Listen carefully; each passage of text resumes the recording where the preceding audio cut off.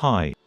I'm Yava Saeed and you're watching The History House, your favorite YouTube channel. This video aims to give you a broad overview on the oldest aircraft carriers still in service. Please like this video and subscribe the channel for latest articles and updates on daily basis.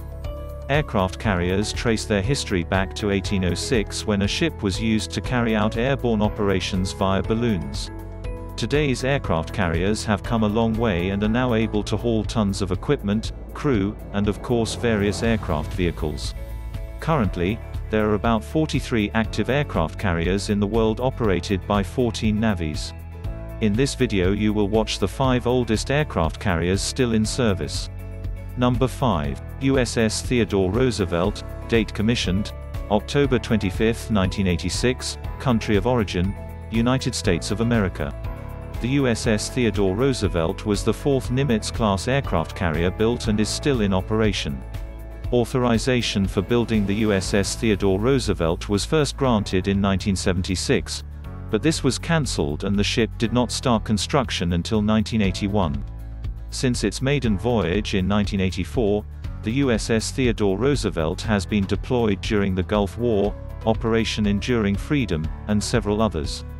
Number 4. Giuseppe Garibaldi, date commissioned, September 30, 1985, country of origin, Italy.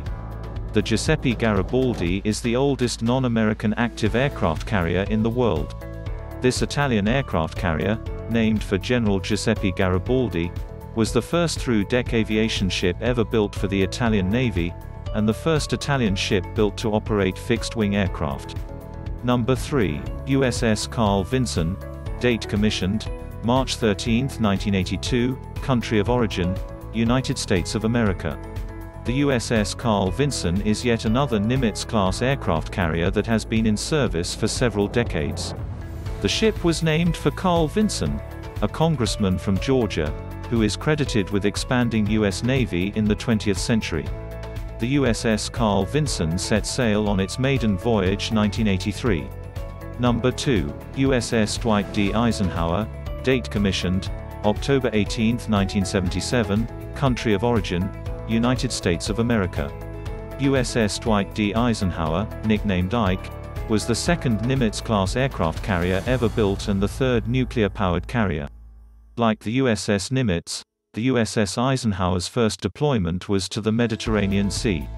Recently, on June 25, 2020, the USS Dwight D. Eisenhower and its escort ship, the guided missile cruiser USS San Jacinto, CG-56, set a new record for the U.S. Navy by being continuously at sea for 161 days.